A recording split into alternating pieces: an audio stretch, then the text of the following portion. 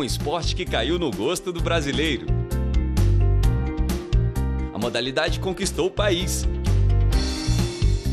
que hoje acompanha jogadores e campeonatos, conhece regras, torce e treina.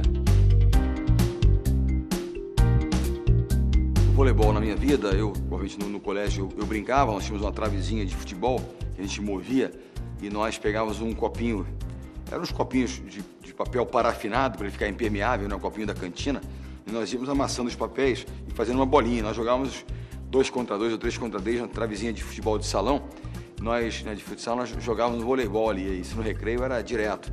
E eu morei em Copacabana minha vida toda, e ali era perto da praia. E ali na praia a gente brincava e tinha muita rede de voleibol e de vez em quando a gente entrava para brincar. E também eu tinha um vizinho, eu morava num prédio e do lado minha, do meu prédio tinha uma casa. E eu e meus irmãos moravam no segundo andar e a gente ficava vendo lá da janela o pessoal jogando vôlei. E um dia nos convidaram também para bater uma bola lá. Então o voleibol entrou assim de diversas formas, mas esse vizinho é que me levou pela primeira vez para um clube para treinar voleibol efetivamente.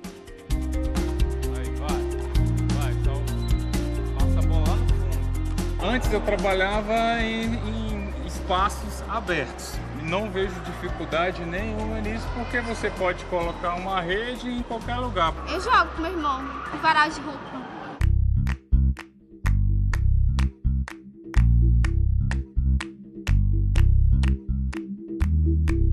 Voleibol surgiu nos Estados Unidos em 1895 como alternativa para o inverno americano que impedia a prática de esportes ao ar livre. No primeiro momento, o voleibol foi chamado de minonete e só depois ganhou seu nome atual em referência ao voleio da bola sobre a rede. No Brasil, há duas versões para a chegada da modalidade. Uma conta que ela foi trazida por uma missão norte-americana especializada em educação primária. A outra diz que o esporte foi trazido pela Associação Cristã de Moços de São Paulo. Ninguém faz recepção assim. Eu, ó, presta atenção, ó, ó. Eu abaixo para poder receber isso aqui ou pega de toque, tá bom? Tem o vôlei participação e o vôlei técnico. A minha opinião é que tem que se trabalhar os dois. Participação mais a nível de jogo, jogo simples, inclusão de aluno. É, e o vôlei técnico visando o quê? Ah, o potencial para um futuro time. Duas equipes com seis jogadores disputam a partida de voleibol. Seis outros atletas ficam no banco de reservas. A quadra de vôlei tem 18 metros de comprimento por 9 de largura. As linhas que separam as zonas de ataque e defesa estão a 3 metros de distância da rede. No masculino, a rede fica a 2 metros e 43 centímetros de altura e no feminino, 2 metros e 24 centímetros mas a altura da rede pode ser adaptada à idade dos praticantes, podendo ficar mais baixa. Eu gosto mais de atacar porque assim, é um movimento que é habilidoso, né? Que é treinamento e também porque é o mais difícil de defender. Mais difícil defender.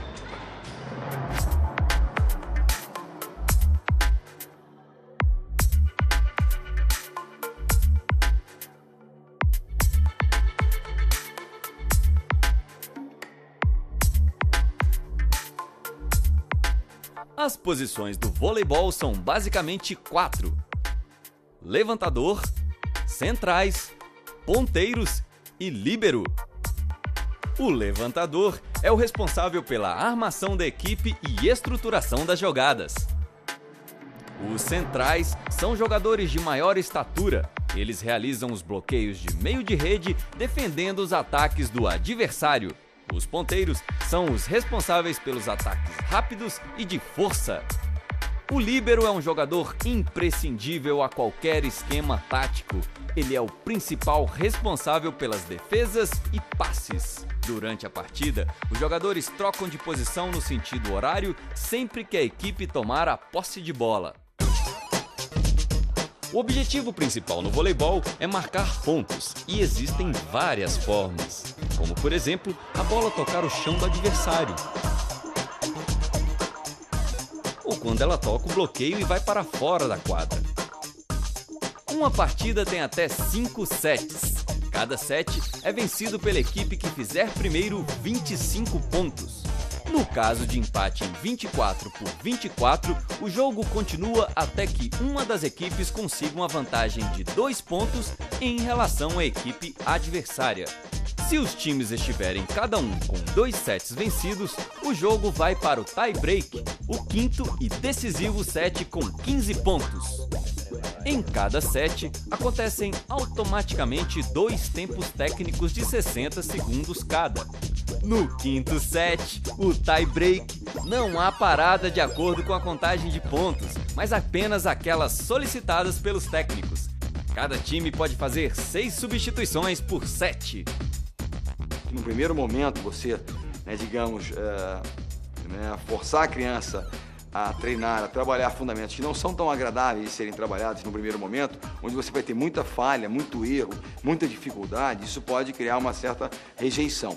É muito importante que seja trabalhado, mas acho que numa segunda etapa. A primeira etapa é uma etapa onde tem, ela tem que ser lúdica, a criança tem que conseguir realizar aquilo. Fazer um ponto, dar um, né, um ataque por cima da rede, conseguir dar um bom saque, é algo que cria esse sentimento de realização, de capacidade, que faz com que o garoto se motive, a criança, a voltar e a praticar de novo esse esporte nós vamos trabalhar com o mini vôlei. O mini vôlei é uma forma adaptada de para as crianças é, não terem a preocupação de jogar na quadra. Ele pode ser jogado é, um contra um, dois contra dois, três contra três, quatro contra quatro, famoso quarteto. E ele pode ser jogado em qualquer lugar. É, é facilidade para se montar o mini vôlei, pode se levar para um gramado, pode se jogar numa pracinha. Os benefícios para a criança é, dinamizar mais o jogo, facilitar mais o jogo para a criança. É, sem a preocupação das regras, eles ficam mais soltos. O mini voleibol é uma boa alternativa para familiarizar alunos de 8 a 14 anos com a bola, quadra e rede e desenvolver ainda qualidades como agilidade, reação, força e velocidade. Concentração, ver se está fazendo tudo certinho. No voleibol, as jogadas começam com o saque. Este é o único momento da partida em que o jogador tem total controle da ação. Vamos iniciar com saque por baixo, então a gente precisa é, trabalhar o posicionamento correto. Então seria uma perna à frente, a outra atrás, calcanhar ligeiramente elevado, tronco à frente, a bola à frente, braços atrás. A mão ela pode ser aberta ou pode ser fechada. Mas a gente vai começar com a mão aberta, E depois com a mão fechada. O saque por baixo é o mais indicado para os principiantes. O jogador segura a bola com uma das mãos e com o braço oposto estendido faz o um movimento em direção a ela. Essa batida pode ser com a mão espalmada ou fechada.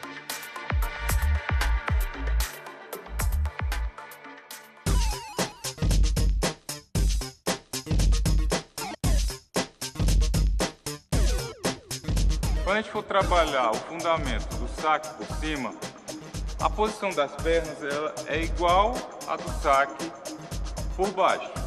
Perna à frente, a outra atrás, bola na altura da cabeça, braço atrás para usar o tronco, para quê?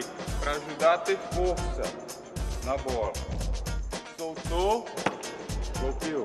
Mãos bem abertas, procurar acertar a bola tá? Bem no centro, ok? O saque por cima, também conhecido como saque tipo tênis, é mais potente. A bola fica em uma das mãos, o outro braço fica levantado, semiflexionado e a mão espalmada na altura da cabeça. No momento do saque, a bola é arremessada para cima e o braço oposto golpeia a bola.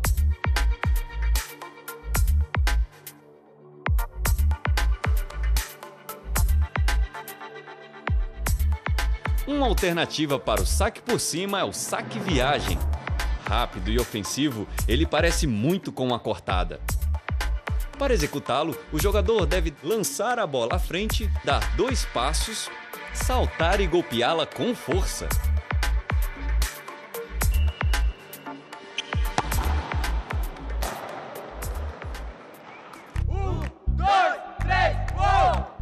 Voleibol é também uma ótima prática para os alunos desenvolverem o senso de coletividade.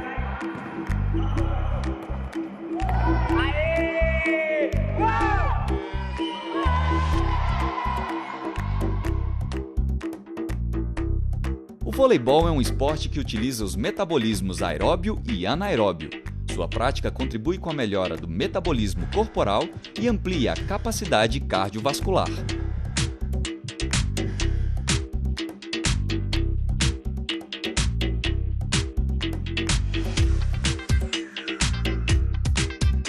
Voleibol na minha vida tem uma, tem uma importância enorme. Eu, além da questão da relação, de você né, formar relações de amizade, de, de é, o respeito ao próximo, né, o altruísmo de você poder estar dividindo as suas coisas, a questão da socialização, de entender que você né, vive numa comunidade. O voleibol é um esporte de comunidade. Você está em seis na quadra, são 12 num time. Então, tudo isso é muito importante para você desenvolver valores. Né? Os treinadores que incutiram em todos nós a importância da disciplina, a disciplina no treinamento, que você possa repetir e com isso ganhar confiança para executar os fundamentos. Né? A, o aprender a, aprender a ganhar e perder. Ninguém gosta de perder, mas o esporte ele te ensina muito claramente, porque ninguém ganha sempre.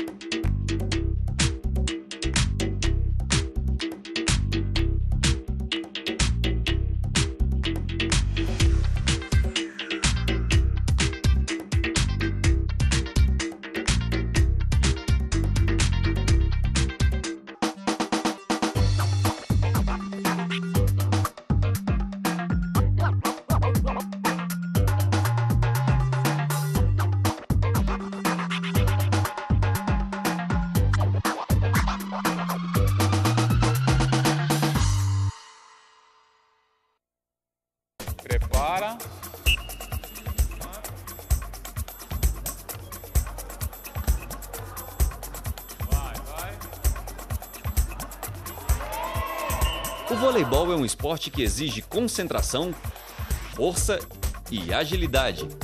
A sua prática desenvolve ainda a socialização. Os jogadores trabalham em grupo para conquistar o melhor resultado possível. Além de técnica, voleibol é parceria e motivação.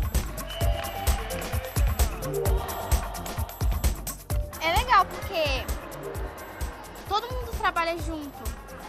Porque tem, tem grupo que fala, não, você é muito ruim.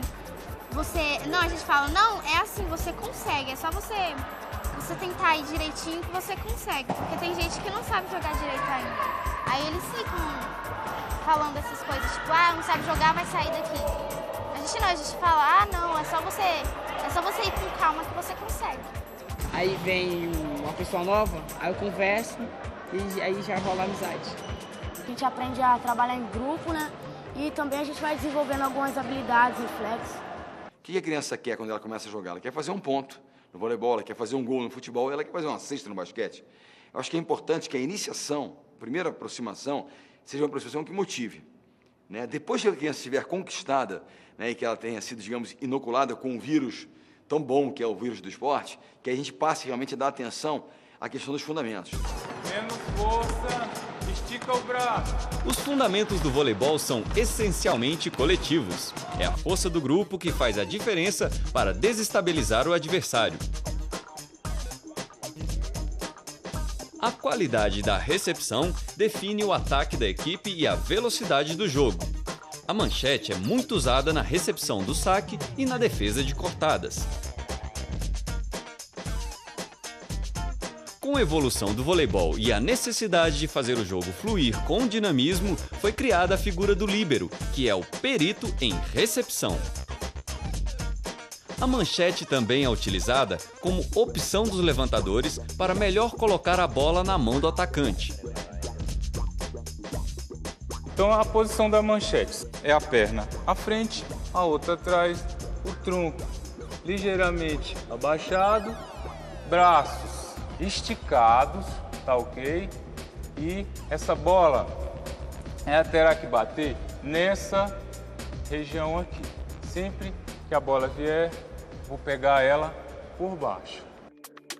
Na manchete, o jogador flexiona os joelhos, o que garante maior precisão e comodidade do movimento.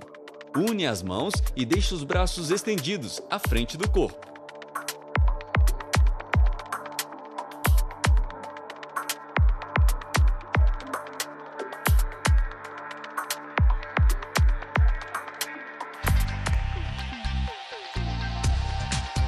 O toque é estratégico para definir a jogada.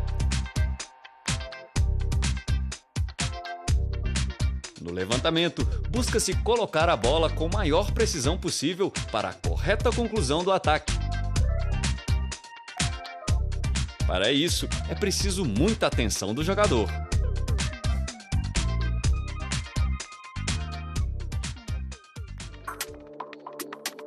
Com os pés apoiados no chão, o jogador mantém o corpo em equilíbrio. As pernas ficam semiflexionadas e as mãos devem estar abertas na altura do rosto, com os polegares e indicadores formando um triângulo. A bola é levemente impulsionada na direção do atacante.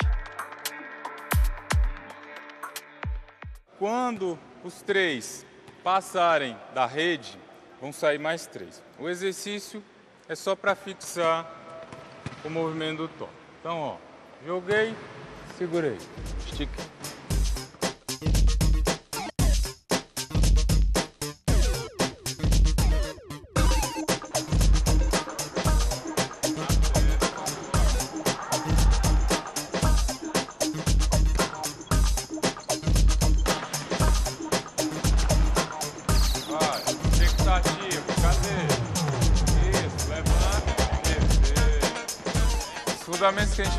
Agora, pessoal, é passe e levantamento. Então vai ter um grupo lançando a bola, um grupo passando a bola e um grupo levantando a bola.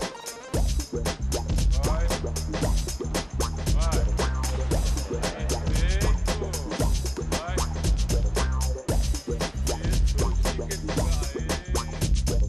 Com o levantamento, a jogada entra em fase de finalização. É o momento da cortada que encerra a maioria das ações ofensivas. Um forte golpe para mandar a bola no chão do adversário. Eu gosto de cortar. Você levanta, você ou alguém, ele levanta pra você e você bate. É como tipo, se você fosse a mais importante do jogo, se você marca o ponto. É muito, é muito legal. Ah, eu gosto de corte. Eu gosto de cortar. Ah, é porque eu acho que eu acho que eu corto bem e também porque eu tenho muita força no braço e é uma coisa assim que eu tenho assim a minha característica, eu sou bem explosiva. E aí quando eu tô muito nervosa, aí mais porrada na bola aí ajuda bastante também.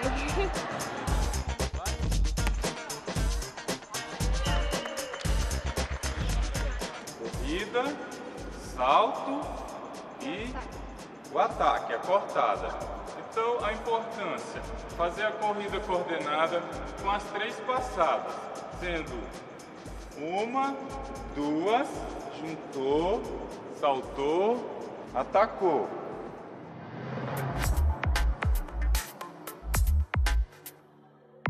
A cortada depende de como a bola chega no atacante, podendo ser alta ou baixa, próxima da rede ou longe da rede. O movimento pede muita coordenação motora.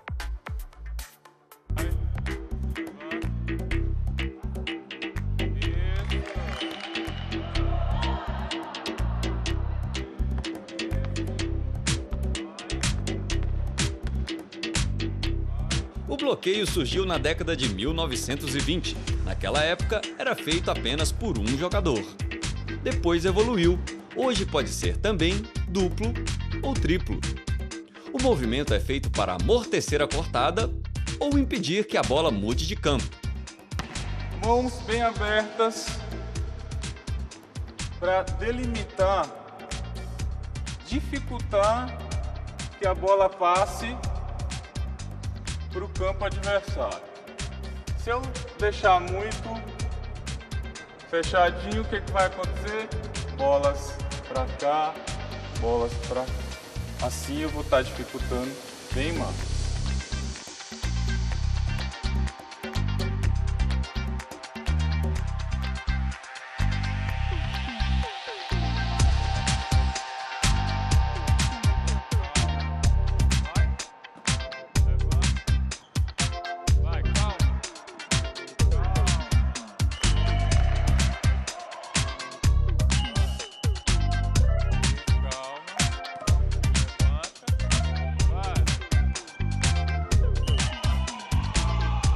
Partida de vôlei é feita de jogadas rápidas, muita movimentação na quadra, saltos, força e concentração. Uma atividade que exige do atleta domínio corporal e muscular e trabalhe o corpo por completo, com destaque para os membros superiores e inferiores em ações de saltos e deslocamentos.